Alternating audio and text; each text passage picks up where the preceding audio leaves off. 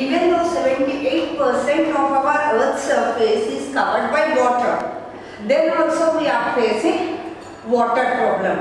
What is the basic reason behind this? Because only 0.01% of earth's surface is covered by Fresh water. fresh water. Hmm? Which is fit for which is fit for our use and all the other remaining part of the water is our saline water which cannot be used.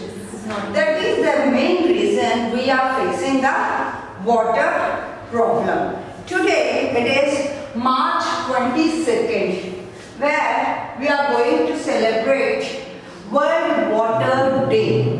Why we are celebrating World Water Day? The main reason for the celebration is how to conserve the water. What are the different methods to conserve the water? We, being teachers, we can teach our students also why and how to conserve the water. Being a class teacher or a subject teacher, we can inculcate the habit in the students how to use the water judiciously.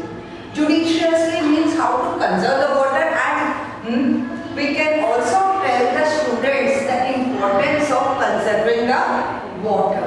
First thing, we can tell the students that once they use the tap, they have to make sure that they have to close the tap properly and there is no leakage of water in droplets. How can we inculcate those habits in students? By inculcating those habits in ourselves. This is the first thing. And as it is a global problem, there are some other methods also where we can conserve the water. How can we conserve the water and why this water problem has come, we will going to say it right now. What is the humans use about 54% of reliable runoff? Or 54 that is more than 50% we are using in runoff. How it is? Power cooling 38% we are using. Agriculture we are using 38 industry 11%. Even in public places we are using 10% agriculture, industry, domestic, power plants, and basically groundwater is the important, one of the important source of water. How do this groundwater get replenished?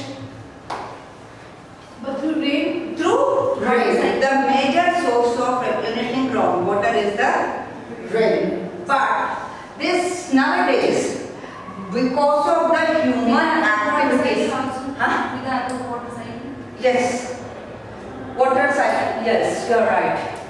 First thing, because of these human activities, because of the human activities like industrialization, urbanization, modernization, the groundwater is depleting day by day. The groundwater is getting depleted day by day. Mostly in cities, this groundwater or the water table due to the m- more construction of buildings, this groundwater is getting depleted. The groundwater is getting depleted day by day. First and foremost thing, we have to try to replenish this groundwater. How can we replenish this groundwater? Is there anything we can do? Afforestation. Afforestation.